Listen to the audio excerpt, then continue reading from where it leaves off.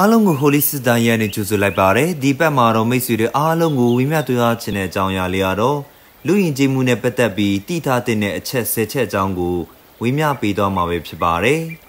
နံပါတ်1အချက်ကတော့ဖုန်းခေါ်ရင်အားရလားစကားပြောလို့ရရလားလို့မေးတင်ပါတယ်နံပါတ်2ကတော့ဖုန်းချခါနီးဖုန်းချတော့မယ်လို့တတိပေးတင်ပါတယ်တချို့တော့သူတွေကကိုလိုတဲ့အချိန်မှာဖုန်းခေါ်ပြီးရင် ကိုပြောဆရာရှိတာပြောပြီးတော့ရင်တခြားသူ ပြန်ပြောမှာကိုမဆောင်တော့ဘဲနဲ့ဖုန်းချတက်ကြပါတယ်ဒီဟာကကောင်းတဲ့အကျင့်မဟုတ်တာကြောင့်မလို့ကျွန်တော်တို့တွေဟာဖုန်းချခါနီးမှာဖုန်းချတော့မယ်လို့သတိပေးတင်ပါတယ်နံပါတ်3ကတော့သူများအခန်းထဲဝင်လာမယ်ဆိုရင် ခွင့်တောင်းပြီးမှဝင်တင်ပါတယ်နံပါတ်4ကတော့တချင်းနားထောင်တဲ့အခါမှာကိုတယောက်တည်းကြားလောက်ယူမဲ့နားထောင်တင်ပါတယ် တချို့တော့သူတွေကလူကြားသူကြားထဲမှာတချင်းနားထောင်တဲ့အခါမှာစပီကာကိုအကျယ်ကြီးဖွင့်ပြီးနားထောင်လေးရှိတတ်ကြပါတယ်ကျွန်တော်တို့တွေကအတန်ကျယ်ကြီးနဲ့တချင်းနားထောင်ရတာ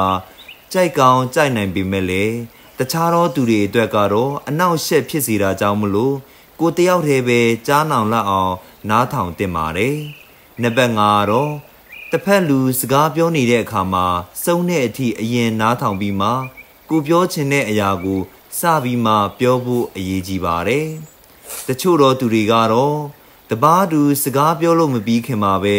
ဖြတ်ပြီးမှစကားပြောတတ်ကြပါတယ်။ဒီရဲ့အရာကလည်းကောင်းတဲ့လက္ခဏာမဟုတ်တာကြောင့်မလို့ကျွန်တော်တို့တွေဟာတပားသူစကားပြောတဲ့အခါမှာစုံတဲ့အထိအရင်နားထောင်တင်ပါတယ်။နံပါတ်6ကျေးဇူးတင်စရာရှိရင်မတုံမဆိုင်မနဲ့ချစ်ချင်းကျေးဇူးတင်ရပါမယ်။နံပါတ်9 အမားလှုပ်ထားလျင်ချစ်ချင်းပြန်တောင်းပန်ရပါမယ်။နံပါတ်၈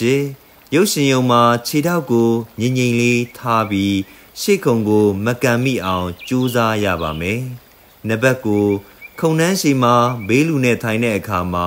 ကိုဒူးကို မလုံမိပါစေနဲ့။နံပါတ်10ကတော့လူကြားတဲ့စတိုင်ကြသလိုနဲ့စလိတ်တွေတဖွာဖွာနဲ့မဖွာမိဖို့ကအရေးကြီးပါတယ်။စကန်စမူဂါတို့ရဲ့ဘဝကို ကိုချင်းစာတတ်ရပါမယ်ကိုမလုပ်တဲ့အရာတစ်ခုအတွက်ယောဂမခံစားရအောင် ကျွန်ုပ်တို့တွေကိုချင်းစာနာပြီးဆက်လက်မတောက်တဲ့သူရဲ့ရှေ့မှာဆက်လက်မတောက်မိအောင် ကျွန်ုပ်တို့တွေကြိုးစားရပါမယ်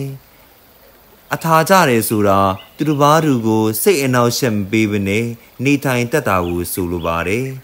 ကျွန်တော်တို့ရဲ့ဘဝမှာဘယံပရာနဲ့နေထိုင်ရင်ဘယံပရာဘဝပဲရမှာပါ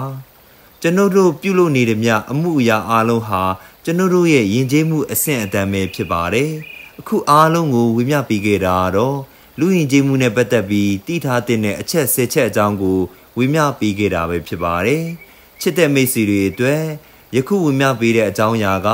စိတ်ခွန်အားအားစီးတစ်ခွက်ဖြစ်ခဲ့မယ်ဆိုရင် ပြန်လည်ဝေမျှပေးပါ။အခုလိုပဲဘူးဒုဒစာပေနဲ့ဖိုးဒန်စာပေတွေကို နားထောင်လို့ရအောင် holistic diet page ကို like and follow လုပ်ထားပေးကြပါဦးဗျာ